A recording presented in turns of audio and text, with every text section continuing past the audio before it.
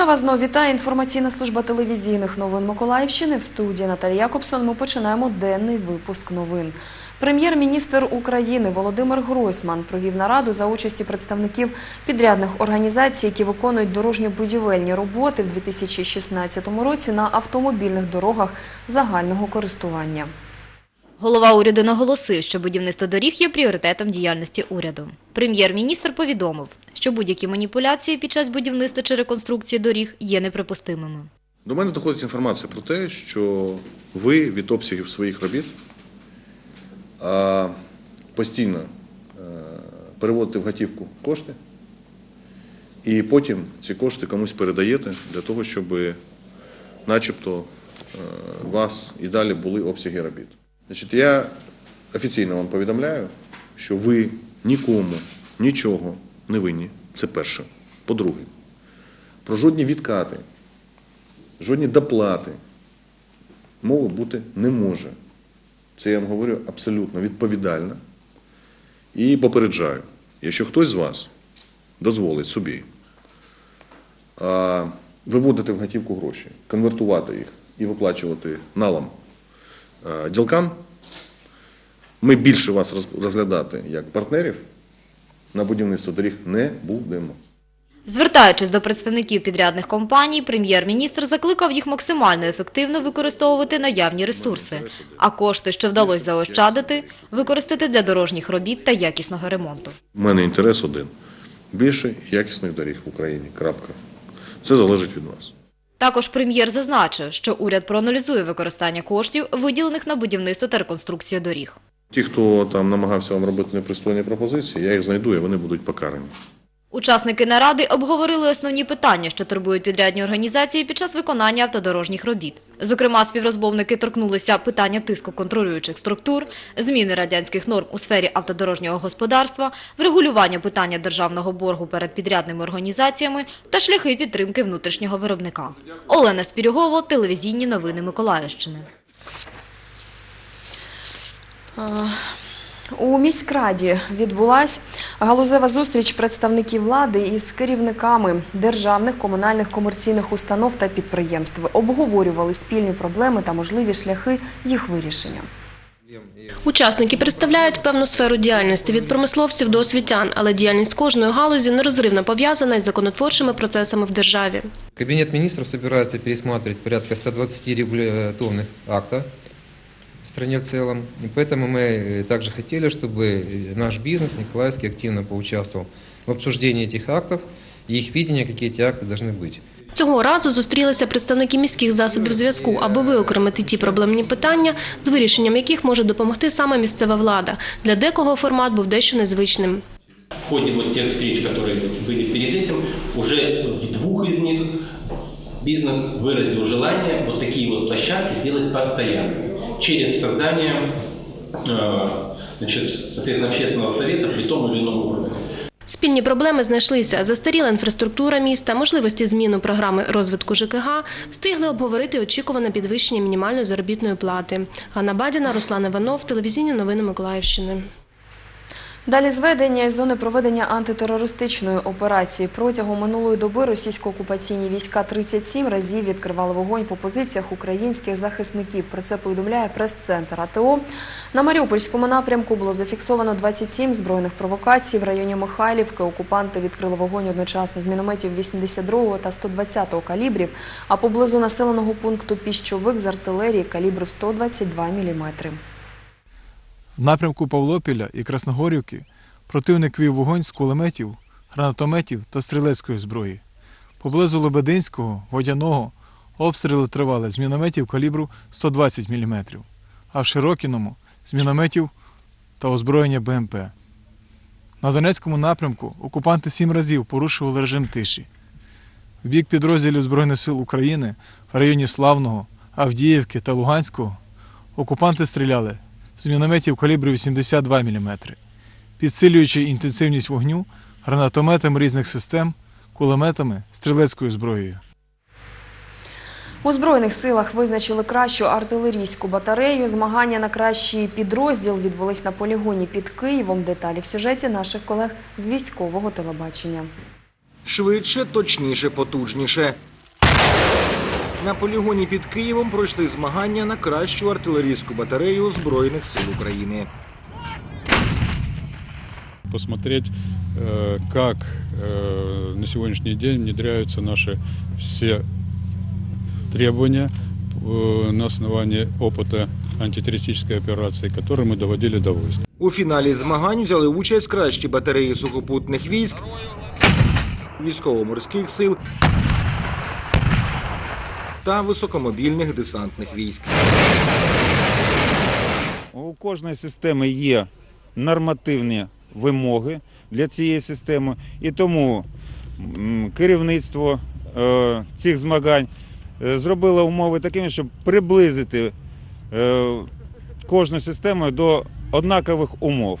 Змагання на кращий підрозділ у збройних силах відновили цього року. На думку командування, вони мають стати стимулом для вдосконалення і допоможуть поширювати передовий досвід. Дух змагань це якраз це є чинником, який якраз і підвищує мотивацію, мотивацію і дає можливість набирати, скажімо так, повний арсенал тих прийомів і способів дії, які, можливо, не характерні для одного підрозділу, а можна вчитись і прийняти в іншого підрозділу. Окрім головного критерію точності стрільби в програмі змагань низка новинок. Зокрема, після кожного вогневого нальоту батареї одразу залишають позиції. Если мы в 2014 году начинали ш- с того, что мы на огневых позициях могли стоять полдня и больше, вот, то на сегодняшний день у нас есть в нашем распоряжении есть э, до 4 минут, ну, максимум 5 минут, ш- после чего при- приходит ответный удар по огневым позициям. Ще одна новинка так звана кочуюча гармата. Одна кочуча гармата виїжджає, відпрацьовує свої цілі, відразу покидає вогневу позицію, переїжджає на іншу, виконує знов завдання і так е, і може так сказати, кочує так по вогневих позиціях і проводить, як кажуть, враження противника. За підсумками змагань перемогу виборола реактивна батарея 81-ї бригади ВДВ.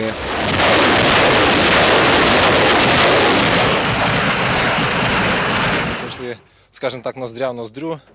До останнього моменту, до бойової стрільби було незрозуміло, хто ж переможе, тому що в певних нормативах ми їх перемагали, в певних вони нас були кращими за нас.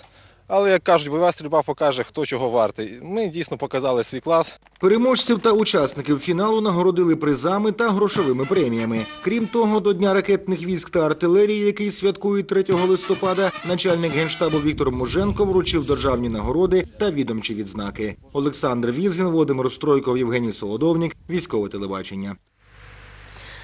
Бібліотеку філію номер 3 для дорослих у Миколаєві урочисто відкрили після реставрації. На захід запросили меценатів, котрі допомагали коштами з ремонтом, постійних читачів, а також представників мас-медіа.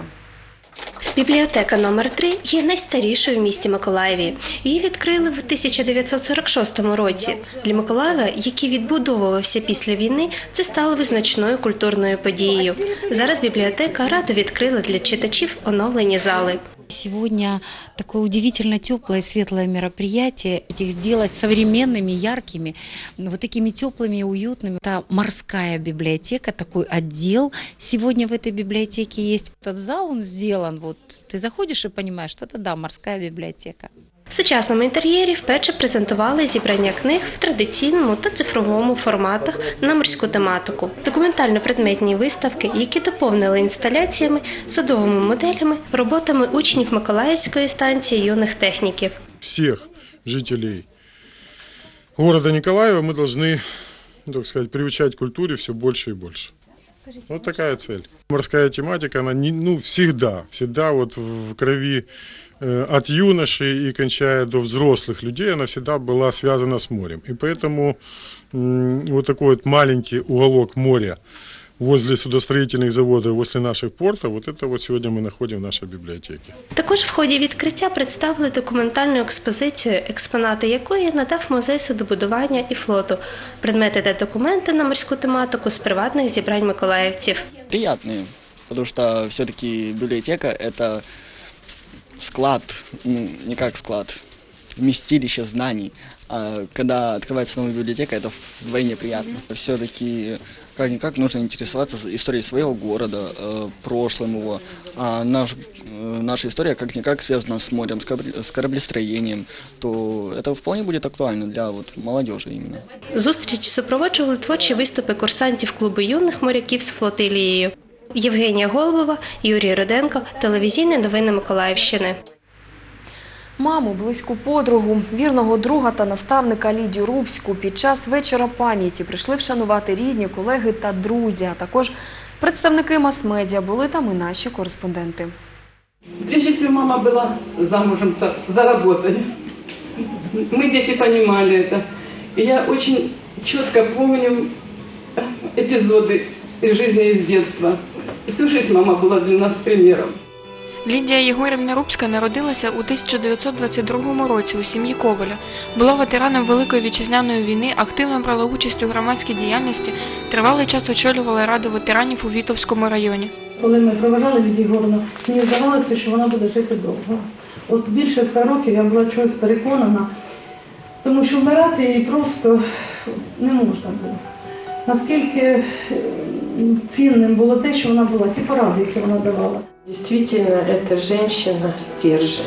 Это женщина-пример. Это женщина с большой буквы, которая умела себя держать, которая умела себя нести, которая умела вокруг себя объединить людей под хорошим началом.